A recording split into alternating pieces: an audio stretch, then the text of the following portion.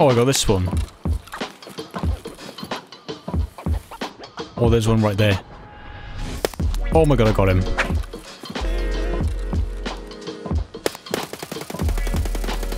I can't aim.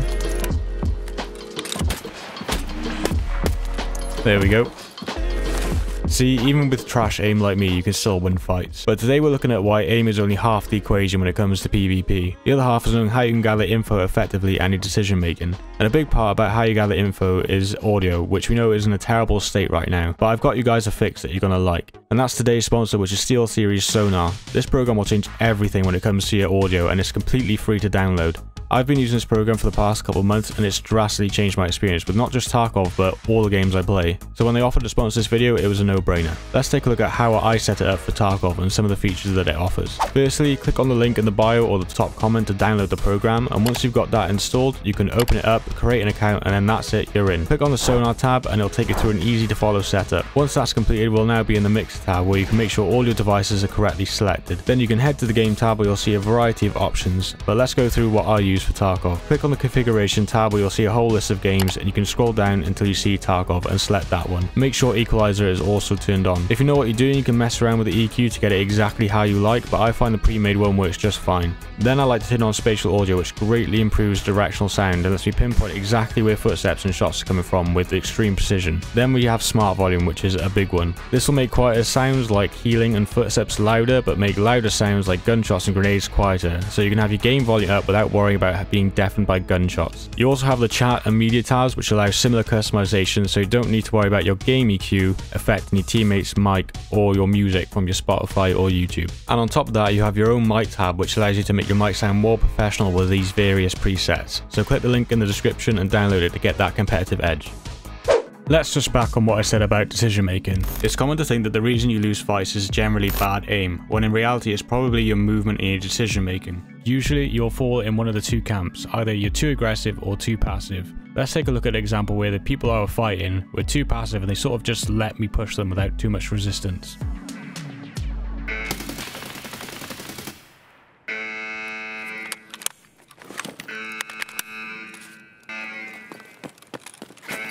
Oh, I did get him. Nice.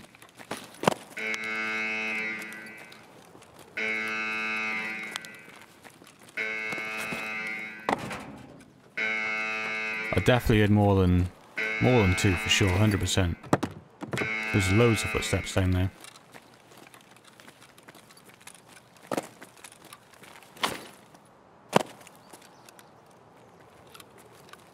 See if they do anything when I go prone here.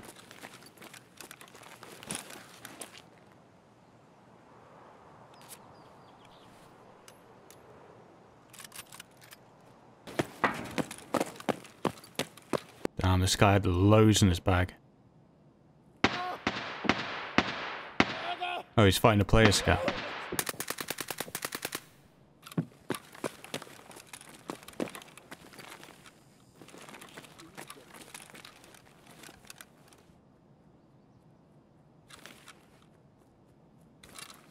You know what, I'm just gonna push while they find that scav. Hopefully they don't hear me.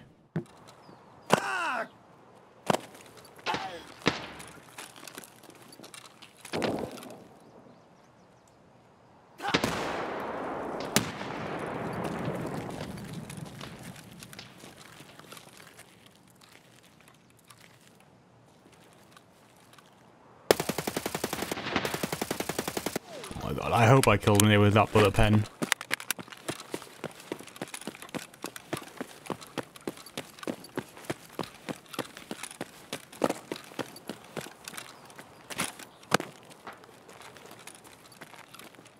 They've killed that player scav. I'm pretty sure the other one's just going to be holding an angle on the door. Pretty much right below me now. Or he's in the window, actually.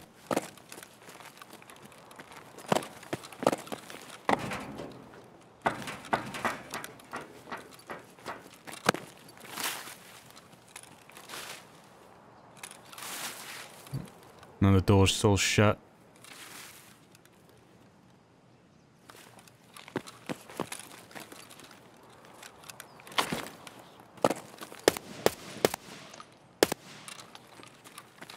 Okay, that one might be dead then.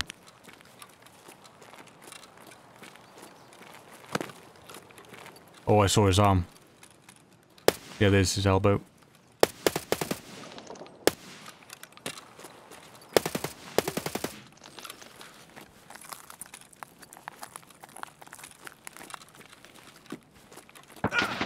He's still alive?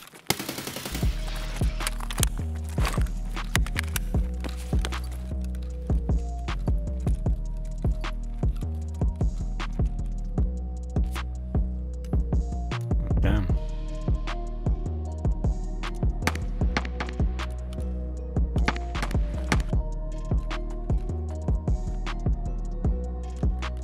We'll have to move the weapons around, but we can fit that.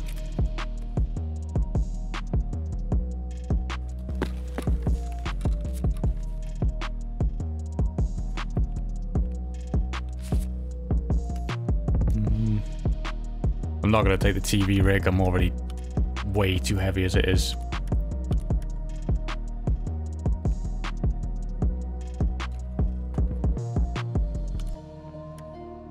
Plus there's nothing really extra that I can take if I do take that TV rig, so... So they might have thought that the reason they lost that was because they whiffed when I peeked them, but in reality it was kind of just the fact that they let me run around them and peek different angles without any resistance. Even as a solo, it's best to move around and make your enemy doubt where you are because it will make them less confident. If they had split up and tried to flank, I would have had a much harder time and probably would have died. So try not to freeze and just hold angles, because by doing so you just give all the initiative to the dude you're fighting. Now let's look at an example of the polar opposite.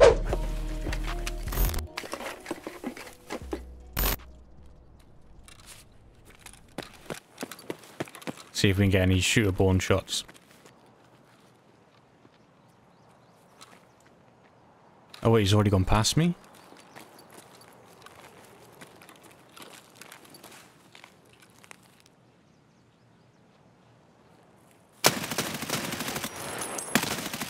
Oh my god. A guy nearly stuck up on me. He's giving away my position now, so...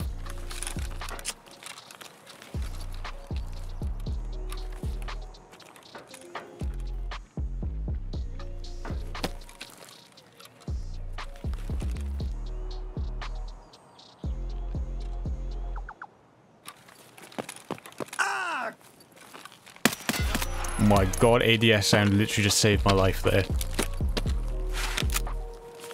Oh my god, if I didn't hear that, I literally would have been doinked right there and then. This guy's after his shotgun kills by looks.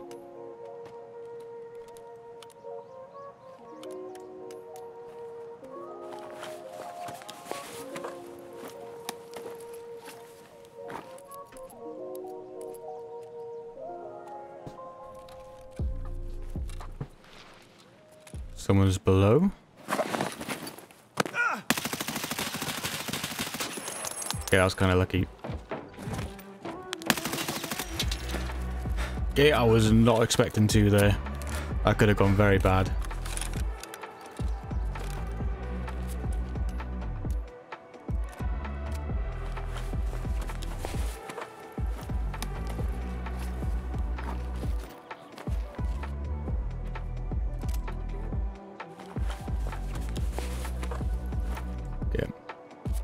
Definitely gonna have some space issues.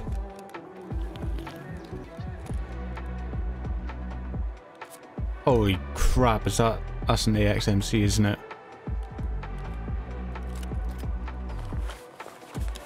Oh my god, right, okay.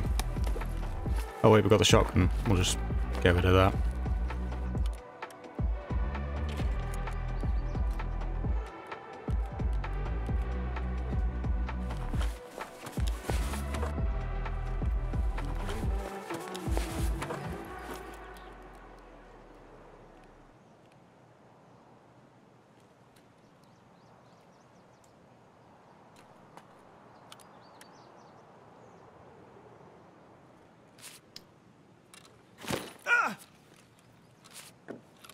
Wait, was that, was that subsonic in there?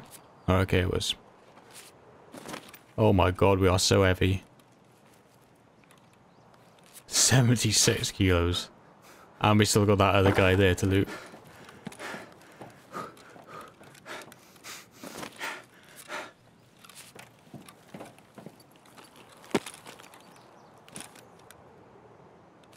Jesus, these guys were absolutely juiced. I have no idea what I'm going to take, really. Kind of want that armor, but...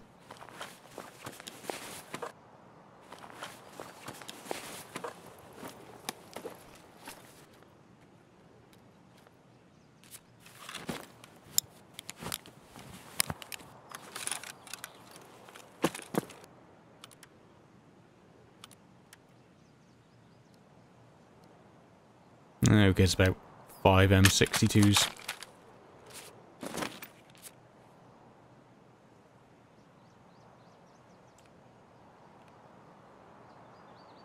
Okay, right. Oh my god. This is literally as fast as I can go. Well, I can respect the chattiness of that push. Generally speaking, if you're peeking slash pushing someone with a sole idea of hoping that you get some good shots or a lucky headshot, then it's probably a bad idea. Judging from his level, he's clearly a decent player and probably has some solid aim. But the reason he lost that was because he put himself in a coin toss scenario where it was more luck than aim. But that's it for this one. If you want to see more tips on how to play solo, then click the video on your screen here.